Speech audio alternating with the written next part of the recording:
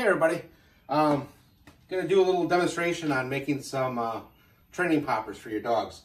So I'm using some old um, reused shell hulls from uh, trap shooting. So I got some Remington Gun Club, um, some uh, Winchester Light 8s, and some double A's. Using a MEC um, reloader to do this. Um, so what I'm using is gonna be some red dot um, gunpowder, and I'm using some uncooked flaxseed. So the flaxseed is just going to be your buffer in there.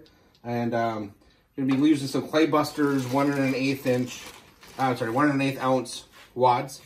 And uh, I got some uh, Winchester uh, 209 primers.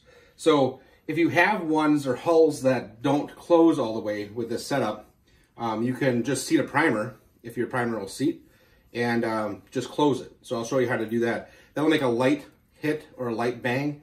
Um, these are pretty loud. Um, and they have a projectile. This one has a projectile that's going to come out of it.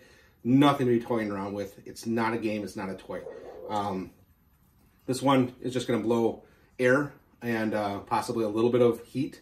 Um, but again, I'm not showing you how to make toys here. Don't think this is something you want to be playing around with. This is something that you're going to use just like you would any other firearm or any other um, ammunition. So um, be very safe with it. So, like I said, I'm using a MEC operator here. Um, the, um, the, the bar I'm using is a 302. I obviously can't tell you what that bushing is because I'm not going to pull this whole thing apart again. Um, and I do have the pressure set at 30. So let me just show you real quick an example. I'm going to use a Winchester Light 8 hull. So I'm going to take out the, um, the current primer, drop in the new primer. Okay. So you can see on here, got a new primer and it's empty. So now either I could just choose to close this um, so it closes up like this and just use it as a primer popper, um, 209 primer popper, just like you'd have with your primer guns. Um, or I'm going to make this uh, much louder for maybe a hunt test or field. So what I'll do now is I'm going to drop her into the into the next spot, close it up. I'm going to drop in some uh, gunpowder, bring it up, put in my, uh, my wad there, close her down, drop the flax seed in. So now I got flax seed, inside there.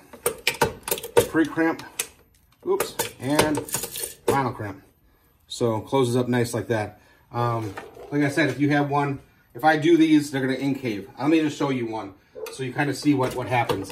I don't like this because the uh, flaxseed and everything can just come out. If you don't put the flaxseed in there, you could have some problems shooting it. Um, so I wouldn't recommend it. Uh, it makes like a hissing noise because you don't have enough enough in there. Now, if you want to hand pour the flaxseed in there, you'd be okay to do that too. So let me just throw in, a, again, I'm using a one and an eighth inch ounce, uh, one and an eighth ounce um, wad. So you can see it's already dropped way below um, where we want it to be. So when I crimp it,